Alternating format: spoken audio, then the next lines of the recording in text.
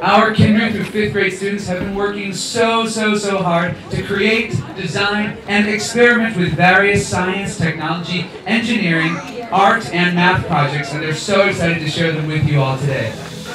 So the STEAM Fest at Harmony Science Academy Sugar Land is a fun-filled educational event that uh, focuses on stimulating and building interest in the kids in science, technology, art, and math. And then I turn on the moon. My hypothesis is when I start using this robotic arm, it's going to be acting like just like my hand. It's going to mimic everything I do with my hand and it can also help people in the future. It's an event that the kids really look forward to and plan and prepare for the entire first semester so they're able to deliver in January. So from here I put different um, amounts of salt. This is two times the salt, this is one times the salt, which is the normal amount.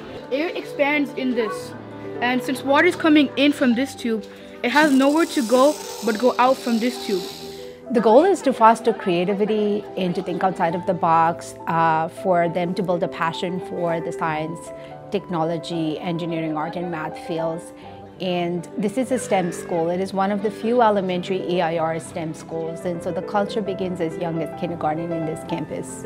So basically, this is a potato, and and it and the juice inside of the potato is basically acting as an electrolyte.